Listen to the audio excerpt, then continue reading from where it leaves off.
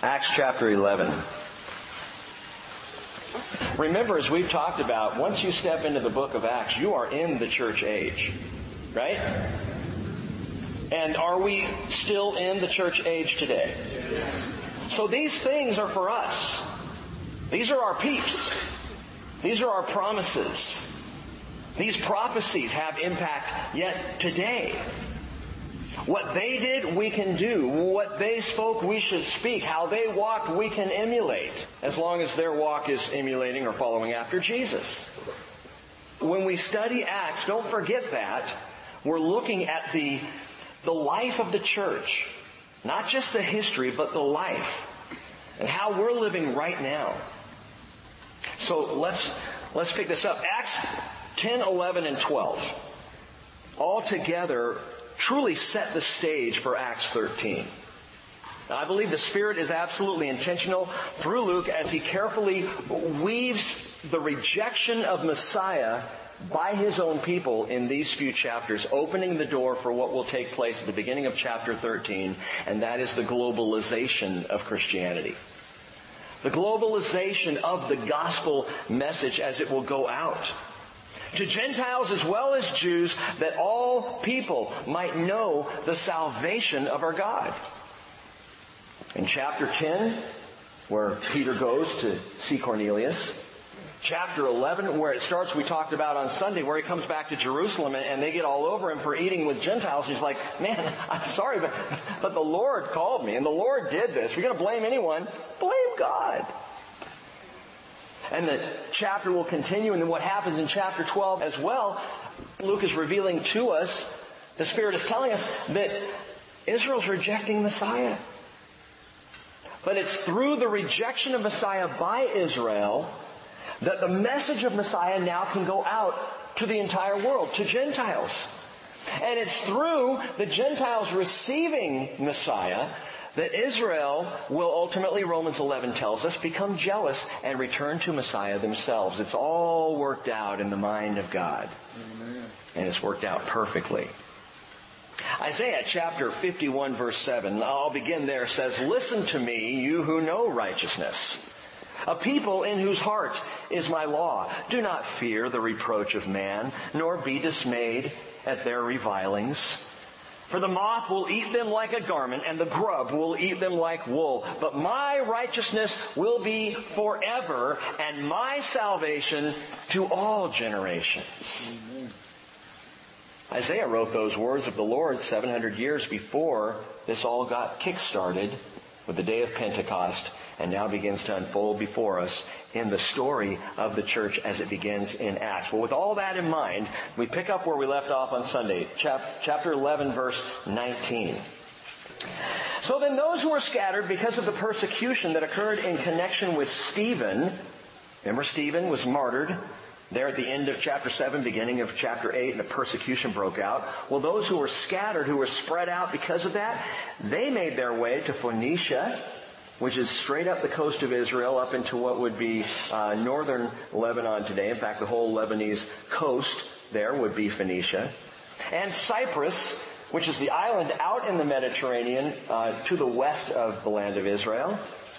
And Antioch, which is all the way even further north, which would be above Lebanon today. So they made their way to these places, speaking the word to no one except to Jews alone.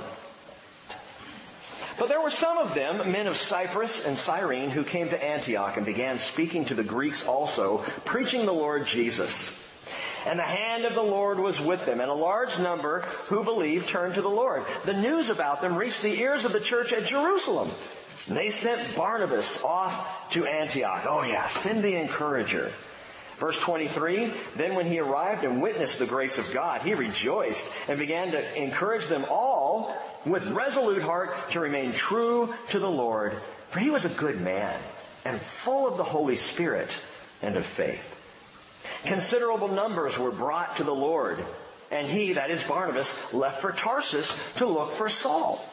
And when he had found him, he brought him to Antioch, and for an entire year they met with the church and taught considerable numbers, and the disciples were first called Christians in Antioch. It's a great verse. The disciples were first called Christians, and there it is, the first naming, beyond being called the way, the first naming of the disciples, Christianos.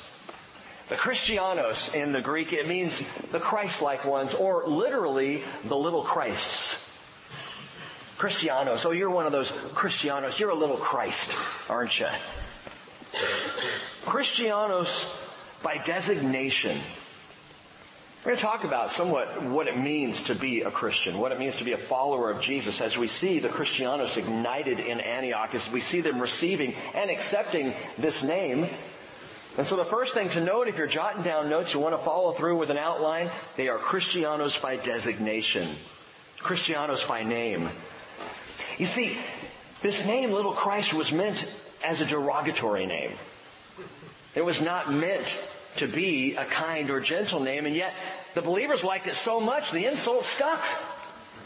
You Christians, yeah, I like the sound of that. Little Christ. Little people of Jesus. Christ-like people.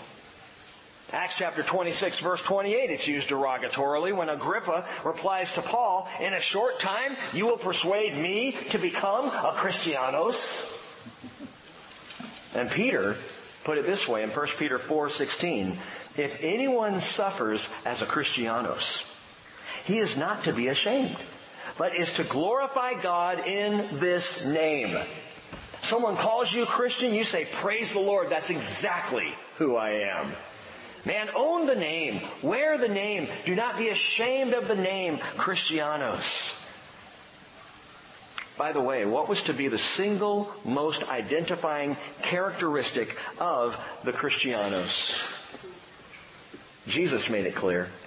John chapter 13 verse 35, by this all men will know that you are my disciples if you have love for who? For one another. You want to show Jesus to the world? It starts right here. It starts with loving one another. It starts with looking at brothers and sisters in Christ and saying, I don't care who you are, I don't care how weird you are, or how strange you look. And it doesn't matter if you have offended me, I will love you. Partially, honestly, because I have to. I have to love you all. Because my very testimony to the world depends on it. And if I'm having trouble loving one of you, or if you're having trouble loving me, let's get with it. Because it is our witness. They will know we are Christianos. They will know we are disciples of Jesus by our love for each other. Well, we're going to come back to this entire section, verse 19 through 26 on Sunday. We need to spend some time there.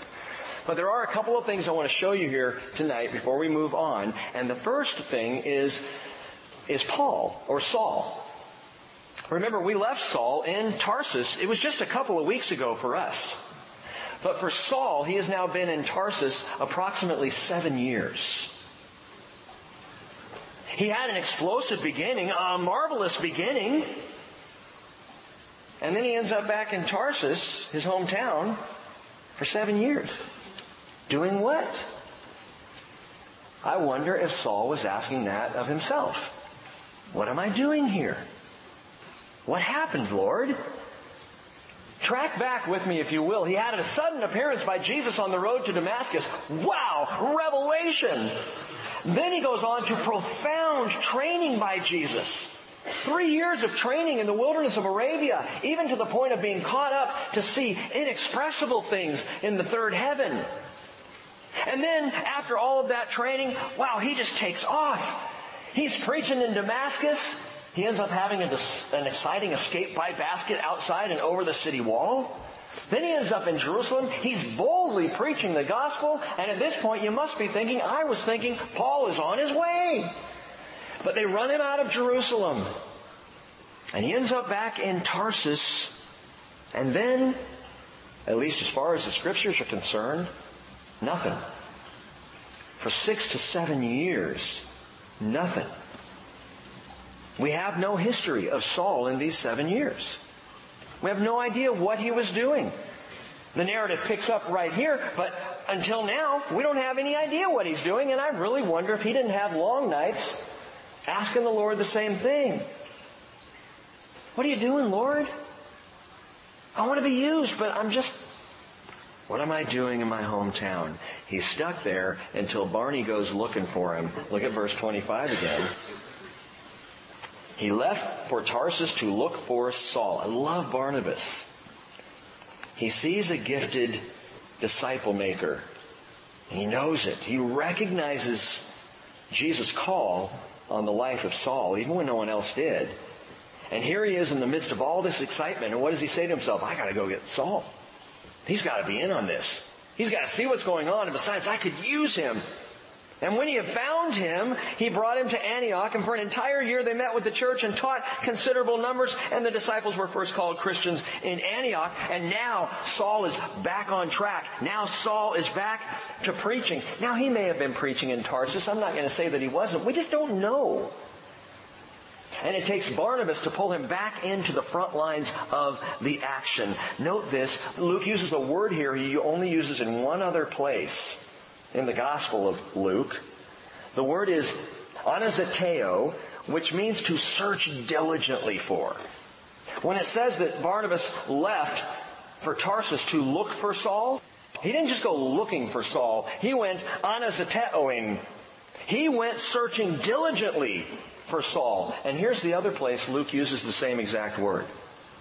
In Luke chapter 2, verse 44, as Joseph and Mary were returning after spending the full number of days in Jerusalem, the boy Jesus stayed behind. But his parents were unaware of it. They supposed him to be in the caravan. They went a day's journey and they began on anazateoing him. Mom and dad began searching frantically for Jesus among their relatives and acquaintances, and it says when they did not find him, they returned to Jerusalem on a zeteo, on a mission, on a freaking out, looking for Jesus. Now you gotta put the words together. Here are two parents who are worried, sick about their son. Where is he? We've gotta find him. They're searching. They're looking high and low. And that's what Barnabas was doing for Saul. Same word, same attitude. He's searching diligently. I've got to get him in on this. Where is Saul? Do you know where Saul's staying? Point me to Saul. I gotta get a hold of Saul. And so the Lord uses Ananias to lay hands on Saul and receive him as a brother, but he uses Barnabas to go get Saul and draw him back into the mission. And that's exactly what takes place here. With that, notice just one more thing here. In these few verses, note the trifecta of the gospel. The trifecta of the gospel, what do you mean? Three things. In verse 20, we see them preaching Jesus. That's how the gospel gets launched. Preaching Jesus. It's what Christians do. But it's not all that Christians do. In verse 23, we see Barnabas encouraging new believers. See, that's also part of our calling. Sending the gospel message out and then encouraging those new believers as they come in. Uh, verse 26 now has Saul and Barnabas back together. And what are they doing? They are teaching the church. The trifecta, the triple crown, if you will of, of the gospel, of discipleship. And that's the second thing to note in our outline, Christianos, not only by designation, but now by discipleship. What are the Christianos doing? What are the Christians up to? They're preaching Jesus. Romans 10:17 tells us faith comes from hearing and hearing by the word of Christ. And they're encouraging the newbies. We have a newbie fellowship now on Sundays. It's wonderful. New believers finding out more, getting grounded in faith. So that's the second thing, encouraging the new believers. 1 John 2.28, John says, Now little children, abide in him, so that when he appears we may have confidence and not shrink away from him in shame at his coming. You've come to him in faith, you believe in him, now abide in him. Be encouraged in Jesus. And then thirdly, they're teaching the church. Rick, when are you going to stop all this teaching business? and uh, when you finish Revelation, then are you finally going to set the Bible down and let us be about something else? Nope. Nope. From Revelation chapter 22, final verse, we're going to jump back to Genesis chapter 1, verse 1 and continue going because discipleship is about teaching the church. Amen. Preaching Jesus. encouraging new believers, and teaching the church. That is the developmental process of Christian discipleship. 2 Peter 3:18 says grow in the grace and the knowledge of our Lord and Savior Jesus Christ. And if anyone among us has the Bible down, please let me know. We'll give you a pass. You may be excused. If you can answer everything there is to know about Jesus, feel free to go get a donut and a coffee. We'll see you later. The Christianos, the Christians by designation and by discipleship. Going on, verse 27. Now, at this time, some prophets came down from Jerusalem to Antioch. One of them named Agabus. I like Agabus. In fact, if Cheryl and I were to have another child, not going to happen, but if we were, that would have to be his name. Agabus Crawford. I like it. Call him Aggie for short, or Bus, or just Gab. That'd be okay too. One of them named Agabus stood up and began to indicate by the Spirit that there would certainly be a great famine all over the world. And this took place in the reign of Claudius. Now stop there for a second. Agabus correctly, Luke tells us, correctly prophesied by the Spirit. That's how we know it was correct. Of a global famine. And then Luke endorses this Agabus to be a legitimate prophet by both inspiration and confirmation. The inspiration by the Spirit. Agabus spoke by the Spirit. Okay, then we know he's listening. But we also have a confirmation of global famine that Luke says took place during the reign of Claudius. Well, let's check that out. Did one? Was there a worldwide famine during the reign of Claudius? As a matter of fact, Claudius reigned from AD 41 to AD 54. In Acts chapter 11, we're about AD 43. Okay, so we're, we're to that point now, about 10 years into the church, 10 or so, 10 or 11 years. And during this time, as we get to Acts 11, Luke already says he prophesied of a global famine. By the way, that famine happened. Now, Luke is not writing in 43. No, he would write Acts a bit later. But he's talking about what, what was prophesied in 43 and then what would take place. So again, was there a famine during the reign of Claudius somewhere in that decade or so uh, between 41 and 54? Actually, there were four. A historian by the name of Dio Cassius, he wrote of a famine during the first two years of Claudius from 41 to 42 AD. Now this being 43, that's probably not the famine that Agabus was prophesying about, because you don't prophesy about something that already happened. It's not really legitimate prophecy.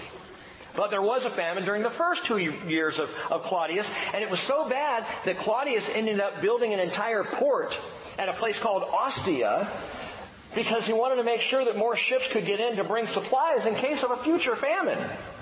That was the first one. Second one, Josephus tells us in the Antiquities that a second famine hit Judea especially hard during the fourth year of Claudius. That would be 44 to 45. And that, I think, is probably the famine that's being talked about here.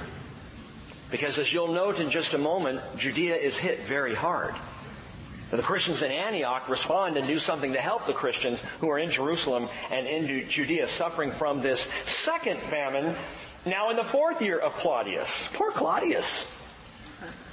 44 to 45 AD was when that one hit.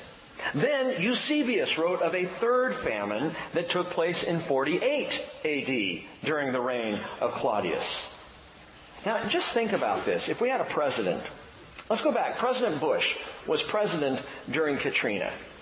Massive, massive disaster. But it was the one, you know.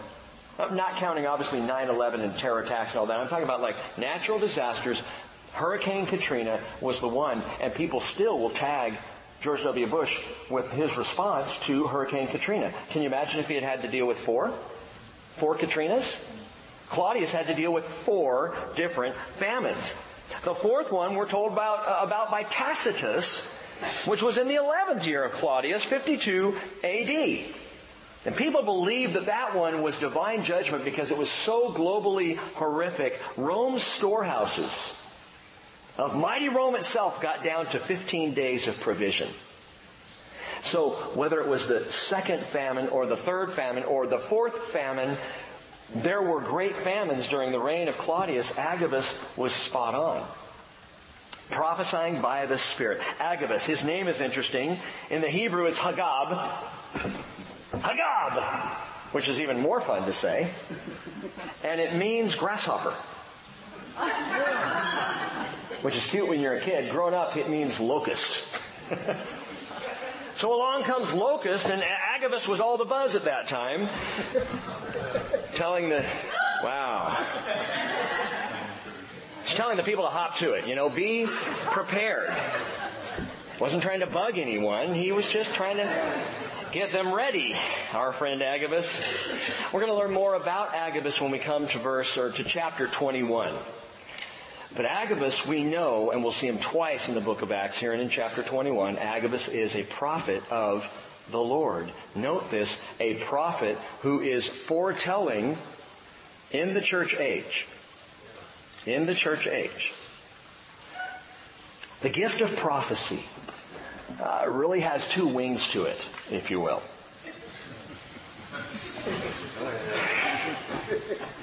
Often what we think of when we think of Old Testament, Hebrew scripture prophecy, prophecies of, of Moses and Ezekiel, Jeremiah, Isaiah, we think of prophecies of foretelling.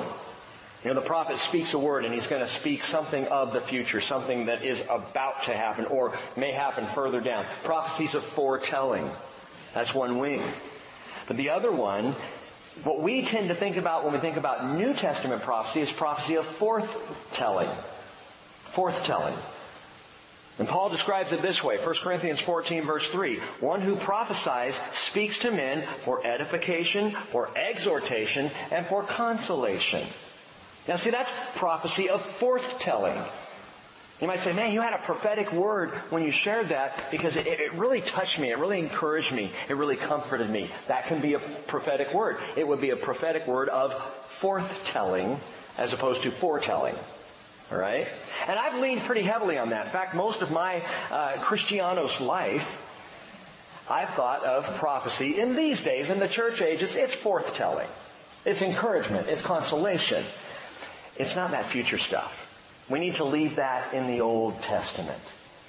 And then along comes Agabus and he does bug me.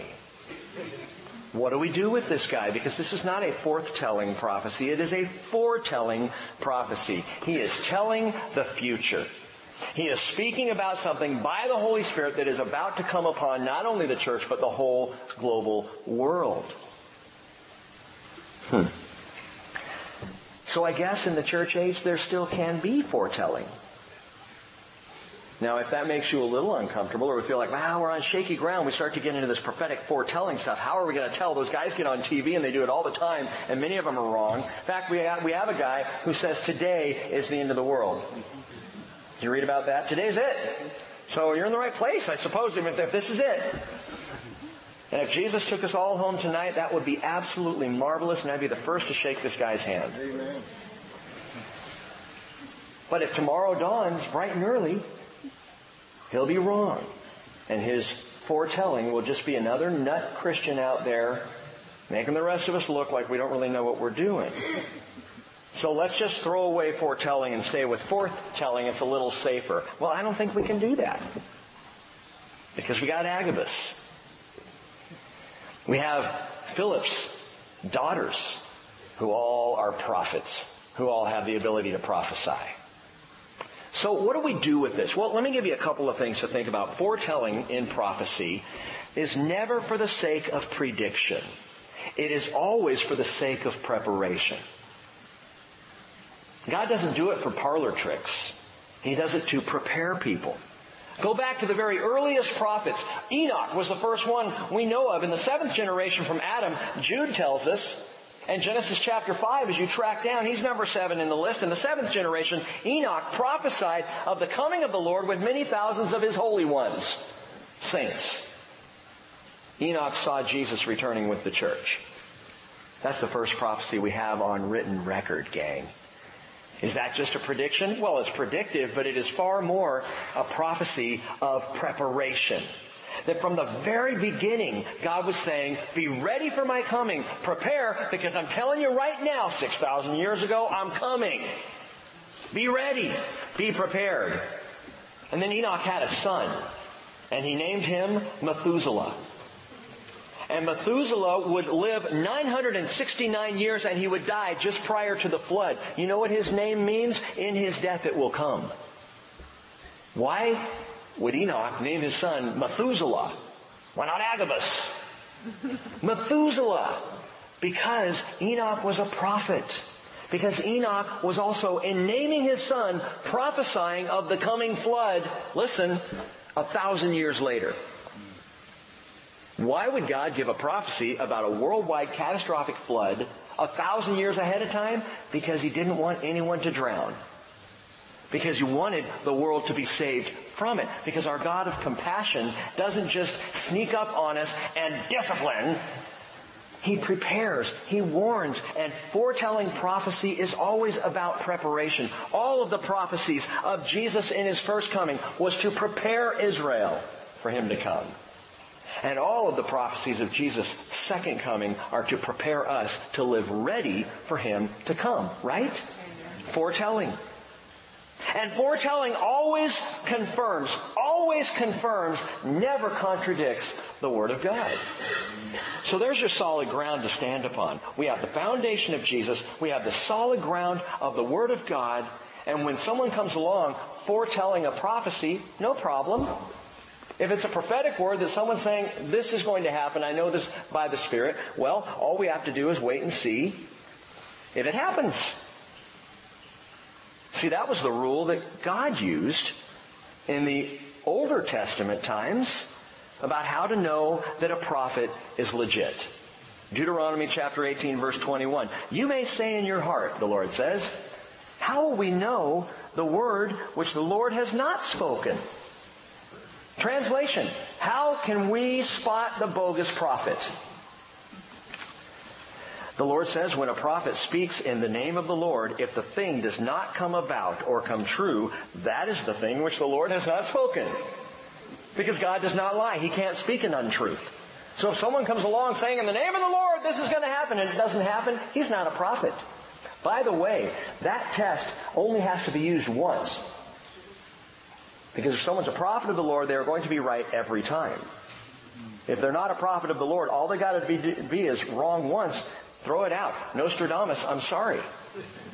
Oh, but so many things he said were true or came to pass in vague ways. Yeah, and so much of what he predicted never happened. False prophet. Very simple. The Lord says, the prophet has spoken it presumptuously, you shall not be afraid of him. So again, we have this instance in the church age of a predictive foretelling, a prophecy that calls the church to be ready. And in fact, calls the church to function with readiness as the Lord directs. Watch what they do, verse 29. And in the proportion that any of the disciples had means, each of them determined to send a contribution for the relief of the brethren living in Judea. That's why I think it was the second uh, famine, because the second famine in the reign of Claudius was the one that really hammered Judea. And so they all determined there in Antioch, man, let's gather up. Let's get some funds together. Let's send it to Judea. And this they did, sending it in charge of Barnabas and Saul to the elders, that is to the leadership there in Jerusalem. Number three in our outline, Christianos by deed. Christianos by deed. Thanks to the prophecy of Agabus, the church was not caught off guard when the second famine hit. They were prepared. How did they prepare? Now think about this. Did they buy gold? Did they quickly stock up on dry goods? They store up bottled water and supplies? Is that how the church prepared for this famine? Were they early first century preppers? Now listen. Note what the church did. They took up an offering. They gathered resources and they sent them to Jerusalem. They prepared by giving. And I like that. That is a great example of what the church does. The church prepares by being ready to give when there is need. Why would they do that? Because if one member suffers, all the members suffer with it. 1 Corinthians 12, 26. If one member is honored, all the members rejoice with it. Why? Because we are one body. And if I know someone in the body is, is anxious over here, by the way, you all, I don't say this that anyone pats themselves on the back, but praise the Lord for His provision for the bridge that we were able to send provision to Margaret, Margaret Pashley when they got blown away in the Philippines. When the typhoon hit, Margaret told me, I didn't know this, but the bridge was one of the very first churches in America to respond to their need. Well, thank you, Jesus, for blessing us so that we have money in missions that we can turn around and immediately give. That's what the church is supposed to do. And you may not be all that aware sometimes of where tithing goes, of where you're giving, your offerings, your generosity. And by the way, this church is incredibly generous. It's unbelievable. We still, we shake our heads almost weekly at, at the generosity of people's giving without being pounded. It's amazing. But the church responds by giving. The church responds by seeing where is there a need? How can we help with that need? And, and if you want to know more about where missions money is going, man, talk to one of the missions guys. Talk to Mitch, talk to Ben, talk to Steve Armitage, talk to Mike Hoffman. Ask them, well, where's it going? Show me. Tell me about this. Get involved in it. In fact, I'd love to develop a, a, team of people working on missions together. If you have an interest in that, please let me know. I'll, I'll tell you who to talk to. We'll get you hooked up. But we shouldn't just be sitting here. We need to know what we're doing. And gathering up, uh, what, what does it say? As however much they determined, any that had means, they determined to send a contribution, and so they did, Christianos by deed. And that is the heart that Jesus calls for among Christians. That we are Christians in action. 2 Corinthians 9, 7, God loves a cheerful giver. And God is able to make all grace abound to you, so that always having all sufficiency in everything, you may have an abundance to store up. No. You may have an abundance for every good deed. Christianos by deed. Now, we come to chapter 12. And in verse 1 it says, About that time Herod the king laid hands on some who belonged to the church in order to mistreat them. And he had James, the brother of John, put to death with a sword. James was beloved by Jesus. He was one of the inner circle, Peter, James, and John. Sometimes Andrew, but it was always Peter, James, and John who were in the inner circle with Jesus. James, along with his brother John, was affectionately called sons of thunder by Jesus because these guys were go-getters, a little bit bombastic, ready to call down fire from heaven and wipe out a village if it wouldn't receive Jesus. Sons of thunder, Boanerges, Jesus said, and you know he had to say it with a twinkle in his eye. Jesus loved James, loved John, loved Peter. And here he is now, the first apostle martyred among the twelve in the church age. The first one to die. His murderer is Herod the king. Now, there are a lot of Herods in the New Testament, so let's clarify. Don't be confused. This is Herod Agrippa the first. Herod Agrippa the first. His parents nicknamed him Get Agrippa. Okay? Herod Agrippa I, he was king over Judea and Samaria from about 37 to 44 AD. 37 to 44 AD. This is not the same Herod that was Herod that was king when Jesus was born. Alright? That was Herod the Great. H the G, we like to call him. And he was a megalomaniac. He's the one who did most of the building that we can still visit and see archaeological finds of in Israel today. He built Masada. He built Herodion. He built Caesarea Maritima. That Herod the Great. And he was a madman. He's the one who tried to snuff out the Messiah by murdering the infants. He's the one who killed his wives and his children because he was so paranoid. Herod the Great is the one who married his second wife, Mariamne, absolutely adored her, but he had to kill her. She was a threat. But after he killed her, well, he made a monument to her because he missed her so much. This guy was nuts. But Herod the Great and Mariamne bore a son named Aristobulus. Aristobulus was murdered by Herod. But before he was murdered by Herod, Aristobulus married Berenice, and Aristobulus and Berenice had Herod Agrippa the first. So you have Herod the Great, who has Aristobulus, who has Herod Agrippa the first. Herod Agrippa the first is grandson of Herod the Great. That's the Herod we're talking about here in chapter 12. He's not going to be around long. Paul, by the way, is eventually going to go on trial before Agrippa. Herod Agrippa the second, who is this Herod's son. So there's three Herods for you to try and track, and there are more Herods that are mentioned, a bunch of Herods. They should have just opened up a casino or something in Las Vegas, you know? They're going to do anything. Herod the Great, and then here is Herod Agrippa the first. Later on in Acts, Paul will stand before Herod Agrippa the second. This Herod is going to be dead by chapter's end. But note the key human phrase here. He says, verse 2, that Herod had James, the brother of John, put to death with a sword. This martyrdom didn't just hit close to home. This martyrdom stabbed straight at the heart. And you think about two brothers who were close. They fished together. They were disciples together. They walked together. They had the similarity of being sons of thunder. They had to be close, these two brothers. Think about it. Those of you who are close to your brother, as I am, I had to sit there and think yesterday as I was reading through this, what would it felt like? What would it feel like today to know my brother was martyred? To find out, to get the call, Rick, Ron was down in Roseburg. He was in the classroom. The gunman asked him if he was a Christian. He said yes, and he was shot dead. How would I respond?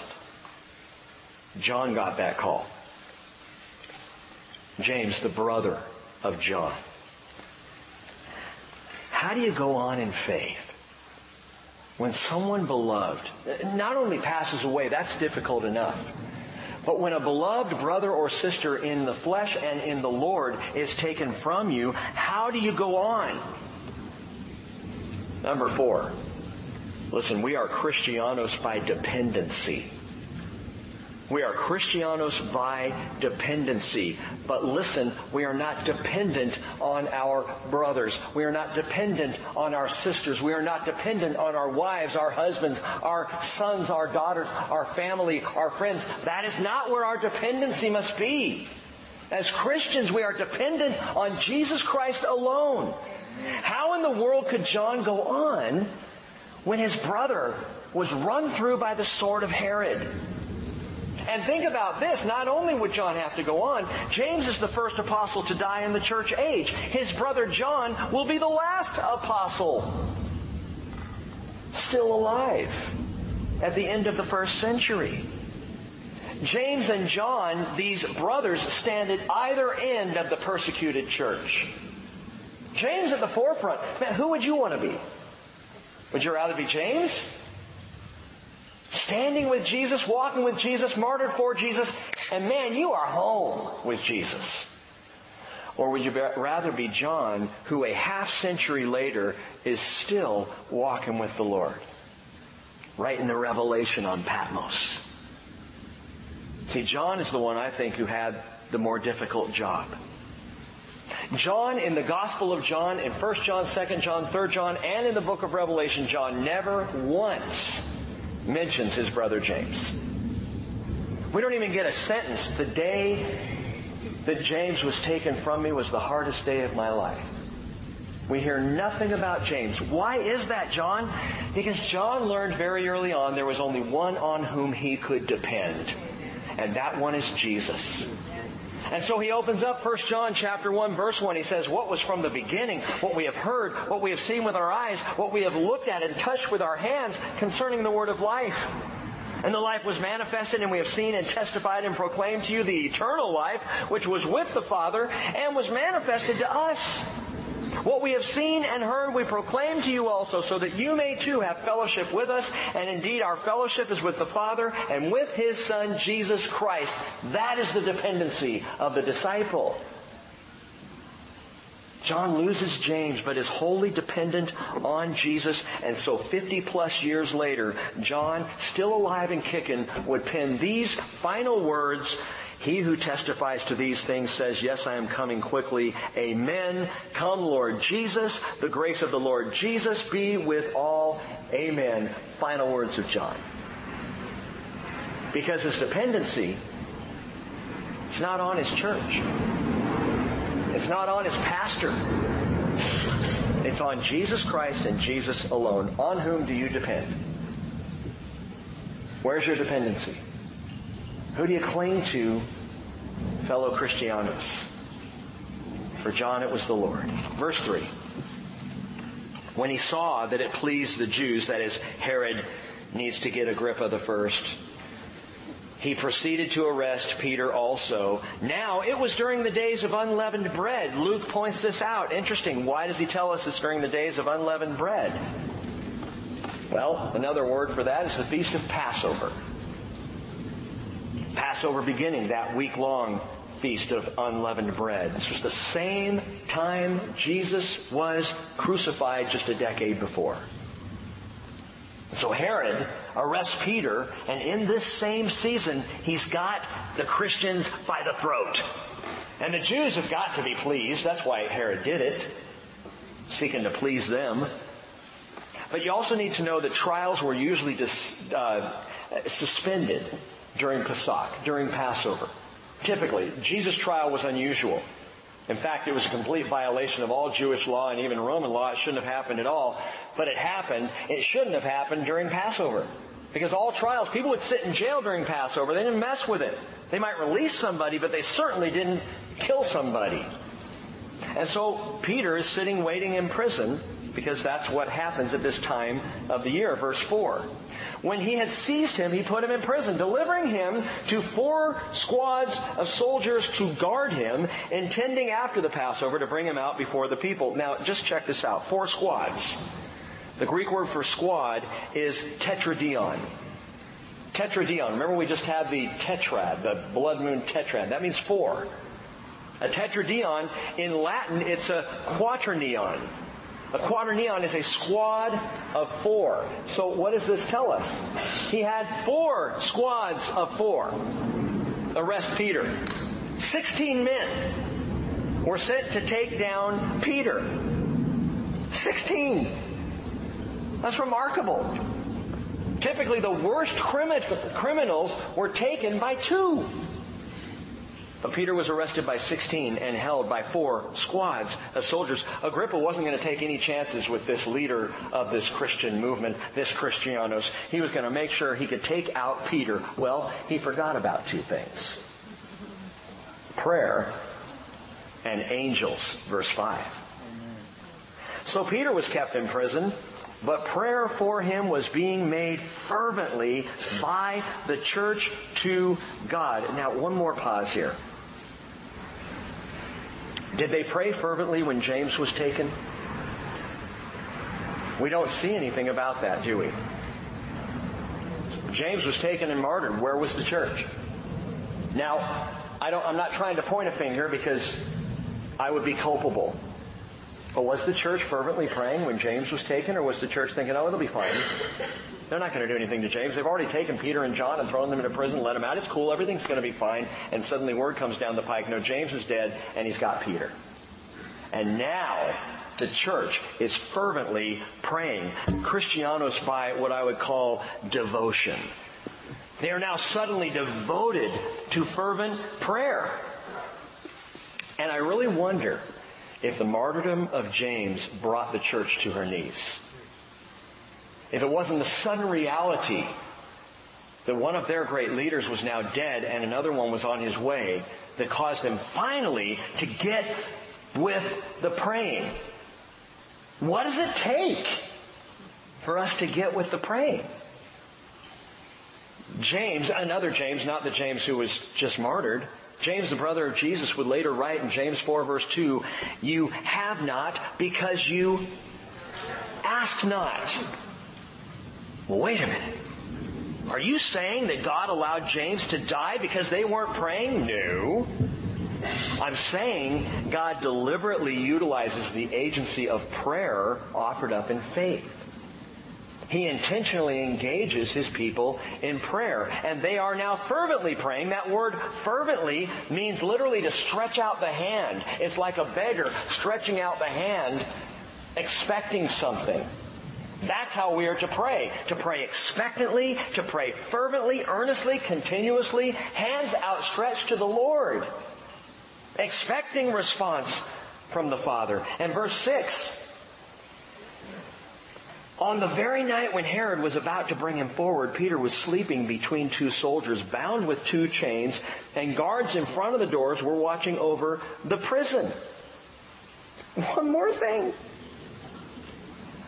How many times have we seen Peter fast asleep? This is a recurring theme with our brother. When they were on the Mount of Transfiguration, Luke 9:32 tells us Peter got drowsy and took a nap. Later, when they're in Gethsemane, Luke also tells us Peter's snoozing, and now he is in prison and he is sacked out. Now, there are different interpretations for why he was asleep, but I'll tell you what, I call this the sleep of improbability. What do you mean? I'm going to sleep because it's improbable anything's going to change by morning. Might as well sleep. I'm up on the mountainside and Jesus is up there praying. It's improbable anything's going to happen right now. Let's catch 40 winks. He's in the garden. He's exhausted. It's unlikely anything's going to take place tonight. Jesus is off praying again. Let's get a little shut eye. And now, he's in prison. Where's he going to go? Might as well get a little rest and so he's sleeping the sleep of improbability. Peter ultimately is going to learn that every time he closes his eyes, God does something amazing. And he comes this close to missing it. Stay awake, Peter. Be alert, Peter. And listen to what Peter later wrote, 2 Peter chapter 3 verse 3. In the last days, Mockers will come with their mocking, following after their own lusts and saying, Where's the promise of his coming? For since the fathers fell asleep, all continues just as it was since the beginning of creation. Might as well take a nap. God's not coming. Jesus is not returning. Might as well sleep. Peter says, You know, I've learned from experience that's not a good idea. Jesus said in Matthew 24, 42, therefore be on the alert. You don't know the day or the hour in which your Lord is coming. Jesus says in Revelation 16, 15, behold, I'm coming like a thief. Blessed is the one who stays awake and keeps his clothes so that he will not walk about naked and men will not see his shame. Verse 7. Behold, as Peter snoozes on, behold, an angel of the Lord suddenly appeared and a light shone in the cell and he struck Peter's side. I love that. Peter! He struck Peter's side and woke him up saying, get up quickly. And his chains fell off his hands. And the angel said to him, gird yourself and put on your sandals. And he did so. And he said to him, wrap your cloak around you. Follow me. And he, by the way, when an angel tells you to put on your coat, do so. It's cold out. So he puts his coat on him, follows after the angel. Verse 9, he went out and continued to follow, and he did not know that what was being done by the angel was real. Church, I, I think that's our problem. We don't know what's being done by God is real, is actual, is happening, and so we get kind of sleepy and uncertain. Well, Peter wasn't sure. He thought he was seeing a vision. Verse 10, and they passed the first and the second guard, and they came to the iron gate that leads into the city, which opened for them by itself. Love this story. And they went out and went along one street, and immediately the angel departed from him. And here's Peter. what am I doing out here? What? Got my cloak? Sandals? This really happened. Angels Angels, how interesting. Angels in the Hebrew scriptures. Angels are talked about a lot. We often see the angel of the Lord. And as we went through the Hebrew scriptures, gang, the angel of the Lord, in my opinion, is none other than Jesus Christ. In a pre-incarnate appearance, an appearance of God speaking with all the authority of God, in the person of God, worshipped as God, the angel of the Lord, the Malach Yahweh. But there are also throughout the Hebrew scriptures cherubim and seraphim and archangels such as Michael we read about in the book of Daniel. We read about that unique angel that seems always sent to be a messenger to Israel, his name being Gabriel. There's a host of holy angels. That word host we see in Luke chapter 2. The word host meaning an army of angels. I mean, God's got his angels. What's the deal with angels? Couple of verses for you. Job 38, 7. When the morning stars sang together and all the sons of God shouted for joy, God says, were you there, Job? Angels are called sons of God, Bene Elohim, and they're called morning stars. And it's the one verse in all the scripture where we do in fact see the angels singing. Now in Luke chapter 2, you're like, well Rick, what about the glory to God in the highest? Ah, glory to God in the highest. Ah. It doesn't say they were singing, it says they were praising and they were shouting. But here we see them singing, Job 38 verse 7. Psalm 104 verse 4. He makes the winds his messengers, flaming fire his ministers. Descriptions of angels. In other words, they're fast moving and they're hot on the job. And the Hebrew writer in Hebrews chapter 1 verse 7 quotes Psalm 104 verse 4 and says this is describing angels.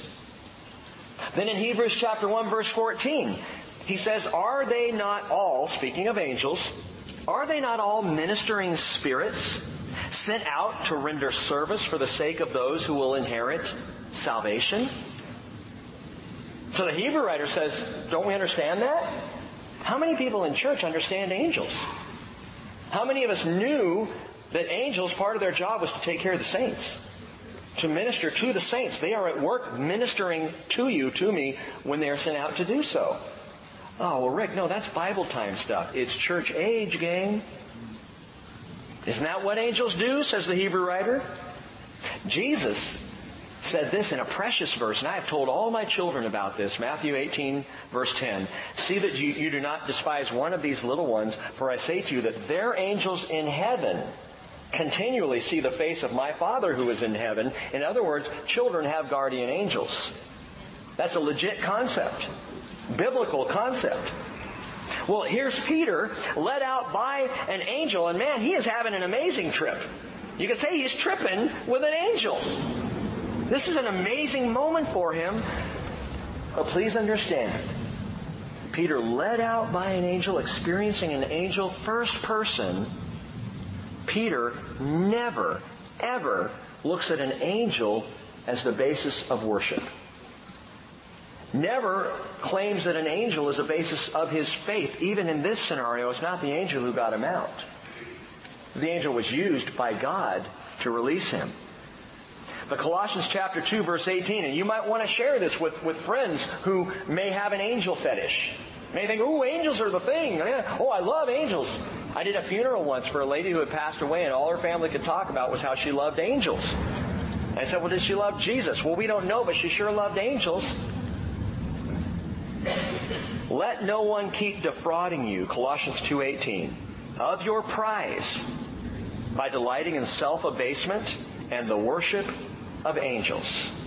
Taking a stand on visions he has seen inflated without cause by his fleshly mind and not holding fast to the head, who is Jesus from whom the entire body being supplied and held together by the joints and the ligaments grows with a growth which is from God.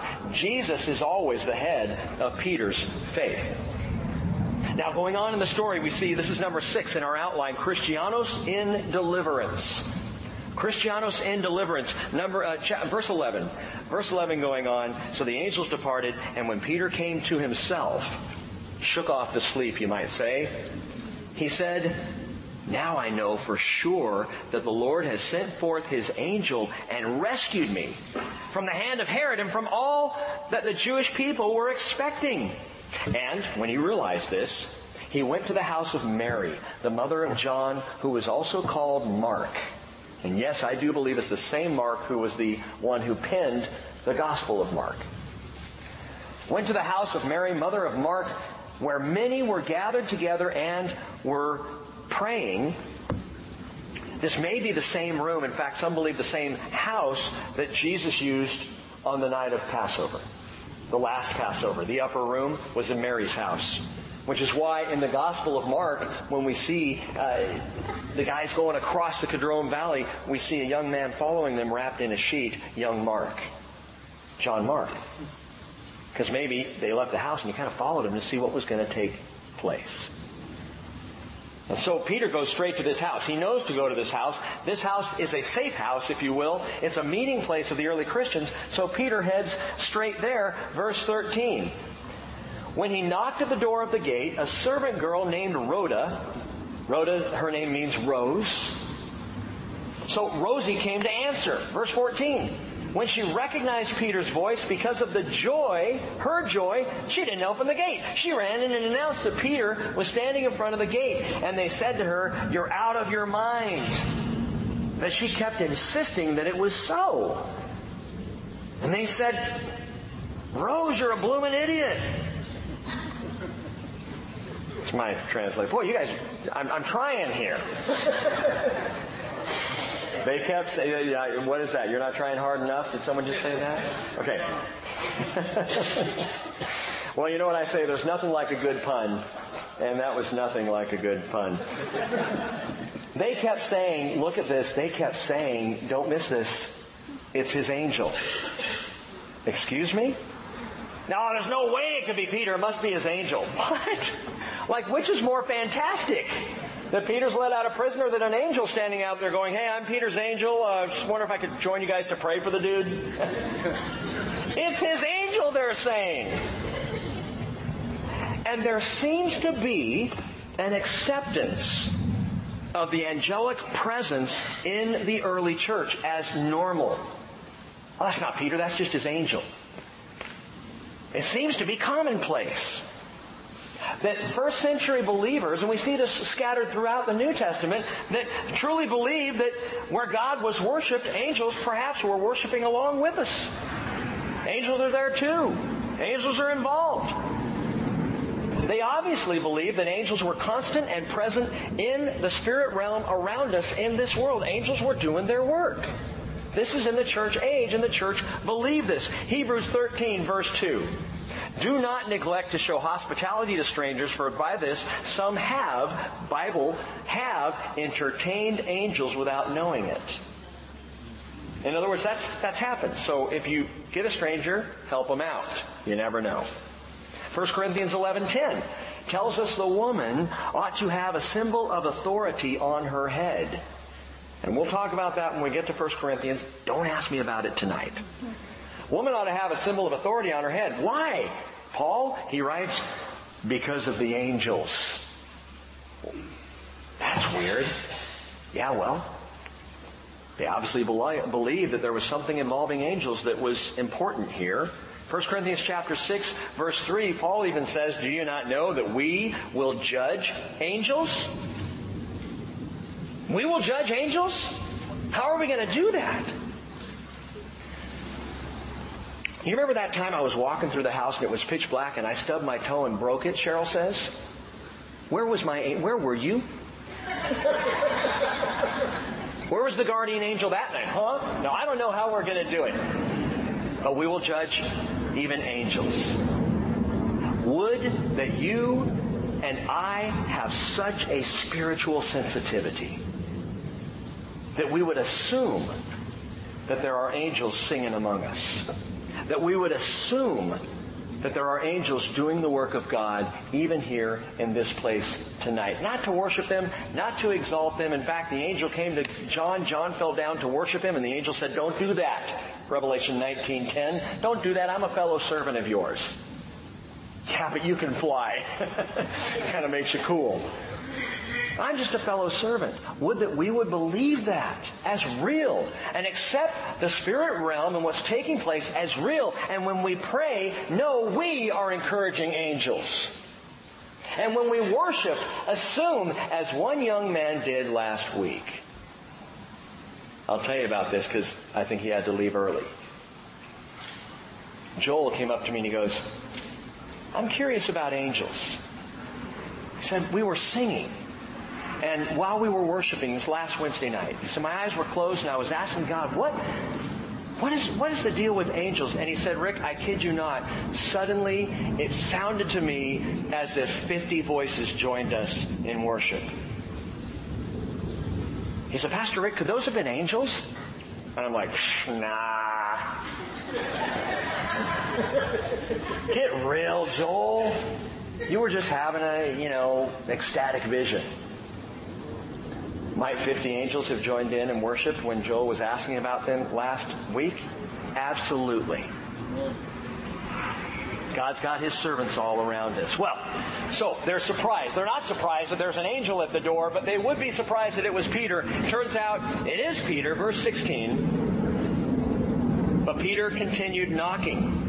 And when they had opened the door, they saw him and were amazed. They would have been amazed at an angel. By the way, if I thought an angel was knocking at the door, I wouldn't be sitting in there telling Rosie, look, it's just an angel, leave it alone.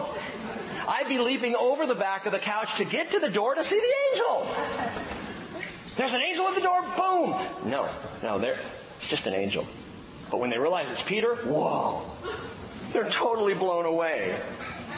I just love the story but motioning to them with his hand to be silent.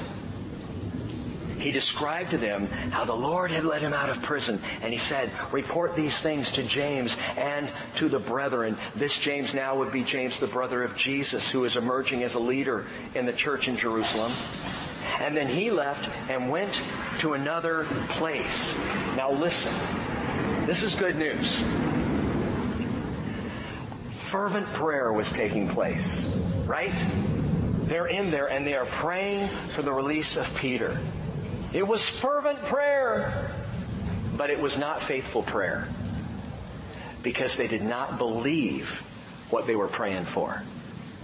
They did not believe the very thing they were asking God to do was about to happen. And when it did happen, they were shocked. Well, if you're praying for Peter's release and he gets release, wouldn't you be like, yeah, we knew it. Uh huh. Uh-huh. Yo, God. But they were amazed. They were shocked. It wasn't faithful prayer. It was fervent. They were praying hard. And that's good news because a lot of our prayers are just not faithful. We just don't know. We don't have the faith. We're praying, but in our hearts we're going, oh, I don't know. I don't see how this is possible, Lord, but I'm going to pray anyway, but I don't see how it's possible. And there are those who would say, then stop praying. If you don't have faith that this is going to happen, if you don't really believe it's going to happen, I don't want your prayers. And I would say, dude, fervent prayer is received just like prayers of faith. And even when the faith is weak, you pray on. You keep praying because God's going to receive your prayer. You don't have to have a massive mountain of faith. All Jesus said you need is a mustard seed. That much. You know what mustard seed faith looks like? Mustard seed faith is saying, Lord Jesus, I'm coming to you because I have nowhere else to go. I don't even know what the outcome is going to be, but I'm coming to you anyway. I am praying anyway. That's fervent prayer. And that's mustard seed faith. And Jesus says that's all you need to get Peter out of prison or to throw a mountain into the sea. Just pray. I'll give you the faith when it's time. You just be fervent in prayer. So if you've ever been one of those who you've been sitting there going, I might as well not even pray because I'm not buying it. Keep praying. Keep praying. Keep asking. Be fervent. Be continual in prayer. The faith will come. What's required, what's necessary, God's going to give it to you. Luke 17, 5, the apostle said to the Lord, increase our faith. And Jesus said, if you have faith like a mustard seed, you would say to this mulberry tree, be uprooted, be planted in the sea, and it would obey you. That's all you need.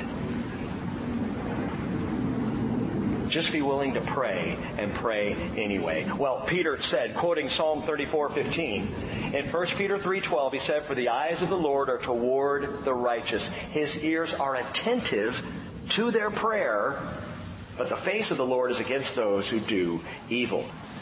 1 Peter 3.12. You might jot that in the margin somewhere of Acts 12 because 1 Peter 3.12 is the summary verse of Acts chapter 12. Peter, in that one verse, sums up everything that just happened in this chapter. The eyes of the Lord are toward the righteous. His ears attend to their prayer, but the face of the Lord is against those who do evil. And speaking of those who do evil, read on. Now when day came, there was no small disturbance among the soldiers as what could have become of Peter. When Herod searched for him and had not found him, he examined the guards and ordered that they be led away, and the implication is to be executed. Roman law. You lose a prisoner, you take their sentence. So these guys were killed. And then he went down from Judea to Caesarea. This would be Caesarea Maritima by the sea we talked about on Sunday. And he, Herod, Herod Agrippa I, is spending time there. Now, verse 20. He was very angry with the people of Tyre and Zidon. And with one accord, they came to him. So there weren't very many of them, just four or five, because they went, drove down in one accord. And having won over Blastus, the king's chamberlain, jot that down, Cheryl. That's another great name. Blastus. You imagine you want to go out for an evening of fun, you want to call Blastus. Okay, sorry. They were asking for peace because their country was fed by the king's country. So quick background. For some unknown reason, Herod Agrippa I is angry at Tyre and Zidon. Tyre and Zidon are in hot water. They're in trouble. Because all of their grain comes from the Galilee, which was overseen by Herod Agrippa. So they had a food distribution problem. Herod's mad at them. We got to do something political here. We got to, we're under his authority. We need to get back in his good graces. So they all come down, or at least a delegation comes down from Tyre Zidon down to Caesarea Maritima, where Herod, we're told by, by um, Josephus, Herod is having a big celebration, read on, on the appointed day, verse 21. Herod, having put on his royal apparel, took his seat on the rostrum, or the judgment seat, and he began delivering an address to them. The people kept crying out, the voice of a God and not of a man. And immediately an angel of the Lord, this is the second time we see an angel in this chapter, an angel of the Lord struck him because he did not give God the glory and he was eaten by worms and died. Is that a great story? On the spot. Listen, Josephus illuminates this for us. Herod's at Caesarea Maritima and he's hosting these games and this great celebration in honor of Claudius at the Hippodrome there. The Hippodrome is basically a chariot track with seats all the way around it and it's a long track where they can ride around. So all the games are going on and all this festivities and, and there's a great amphitheater there in Caesarea. And so in one of these two places, Herod stands up. Listen to how Josephus describes the scene. At daybreak, Herod entered the theater. Dressed in a garment of woven silver, which gleamed in the rays of the rising sun, he, his flatterers started addressing him as a god. Suddenly he was struck with intense pain and he cries out, I whom you called a God am now under the sentence of death. And Josephus says five days later he died at the age of 54. So that's what the historian tells us. Scripture gives us a little juicier information. the reason he died was he got worms. and he got them bad. Herod Agrippa I was worm food. Had there been an autopsy, when they opened him up, according to scripture and then looking at what Josephus said, had they done an autopsy, opened up his belly, it would have been full of worms. The pain in his gut, Luke tells us was worms. Crawling with maggoty worms.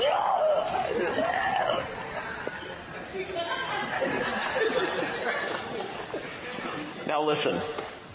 Do I have your attention? Another king died in a similar way.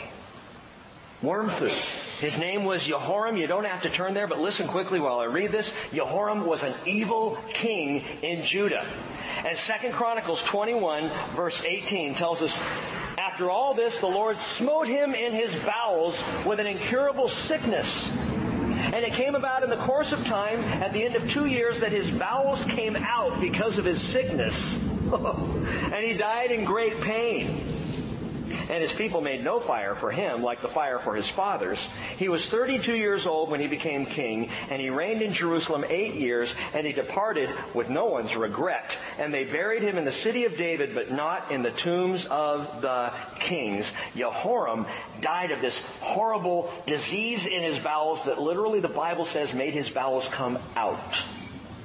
And physicians reading that tell us that they believe it was a massive worm issue in the gut of Jehoram. Now, I'm, I'm, really, I'm really not just trying to be gross. I'm a little bit, but not, that's not the main reason. Herod Agrippa dies of worms. Jehoram dies of worms. And listen, that is the determined end of the devil himself. Isaiah 14, 11. Your pomp and your music of your harps have been brought down to Sheol. Maggots are spread out as your bed beneath you, and worms are your covering. Jehoram, Herod Agrippa the first, and Satan. Jesus drew from Isaiah 66:24 to describe hell this way, Mark 9:44, it's that place where their worm does not die and the fire is not quenched. So I want to end with this, ask you, what does Jehoram, Herod, and Satan, what do they all have in common?